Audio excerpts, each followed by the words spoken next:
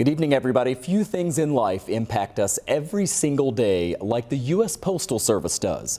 You get letters, packages, maybe even life-saving prescription medications delivered right to your home.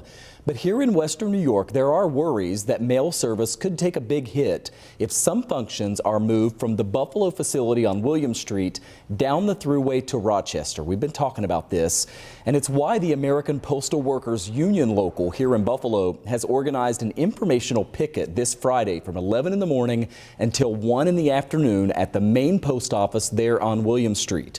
Now, that will be followed by the public meeting organized by the USPS this coming Tuesday evening in Cheektowaga. Both of these are open to the public with the message, as you can see on the flyer, save our service.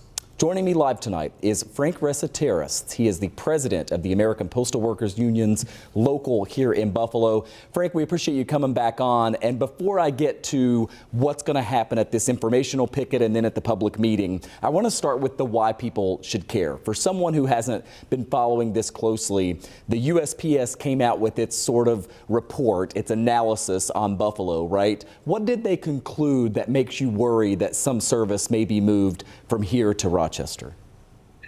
Well, the uh, the initial report, which was dated, uh, the initial findings report, which, is dated January 30th, uh, showed what machines we will maintain here in the Buffalo plant at 1200 William Street and what processing machines we will no longer have. A key machine, the advanced facer canceller. We have three of them here in Buffalo. We use two of them nightly. And that advanced facer canceller is with it puts a cancellation on mail that comes in the post office boxes, uh, the collection boxes here in Buffalo, across the counter at the window when uh, the cust- uh, clerks service the customers. That mail that comes in from Buffalo, and it goes to this advanced facer canceller, receives a cancellation, and then it is segregated to different parts of the country, uh, zip code by zip code. Well, the zip codes here locally that where that mail would come back into the community after it's mailed from the community, zip codes beginning with 140, 141, 142, 143, 147. Those zip codes now, instead of uh, the mail being processed here in Buffalo on the advanced facer canceller and going through other machines, fine tuned down to be delivered right back here in Buffalo, that mail now will now go to Rochester because the advanced facer cancellers are not part of the initial findings report of January 30th. Hmm. So our, our three machines will be removed. Now, if you look at the trend, and there's a trend nationwide, and I'm just going to look at this list real quick. There's nine sites that have been finalized across the country. So we're in the initial report, but now there's a final MPFR report. And for example, they all have lost their advanced facer cancellers. And they, those machines are not on our inventory. So, for instance, Medford, Oregon, they currently have two. They're losing both. Uh, Trenton, New Jersey, they have four advanced facer cancellers. They're losing all four. Minneapolis, Minnesota has seven, and they are losing all seven. So that's the trend.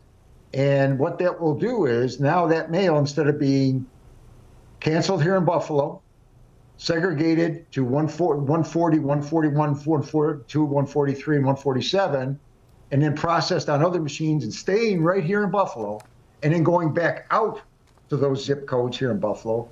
That without the machine, it's the machine the, that mail will go to Rochester first for an advanced facer canceller system there. Yeah. Then back to Buffalo for final processing. That's where we believe the delay is. That's just one of the delays we believe. And so, Frank, you're encouraging people to come first to this informational picket on Friday again, um, starting at 11 o'clock in the morning. What's going to happen there?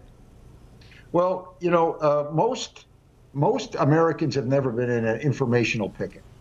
And uh, we have a long history here in Buffalo of having very professionally run informational pickets, very safe, very non confrontational. It's a way for the public to assemble in front of the post office. We walk up and down. We have uh, signs, we have flags. It's family friendly. There'll be kids in the line. Kids are out of school. They're welcome to come down. Uh, I've always had my kids over the years in picket lines ever, ever since they were small. But it's a it's a way for the pro uh, the public to say, hey, this service is important to us. We don't want it delayed. uh, and it's a springboard into the public meeting, which will be held four days later. So the public can experience the informational picket. Like I said, it's non-confrontational, family-friendly, where they can voice their concerns in number, and then four days later they can go to the public meeting in at the uh, Creekside Banquet Center in Cheektowaga and uh, express directly to postal officials their opinion. So we encourage people who have never experienced a public meeting, never experienced an informational picket to come down, experience it, and tell the Postal Service how important their service is, and they do not want their mail delayed. We will be there to cover it for sure. Re Frank Resetarits is the president of the Lo local American Postal Workers Union. Best of luck, Frank. We'll be talking to you again soon. Thank you. All right. Thank you, Michael.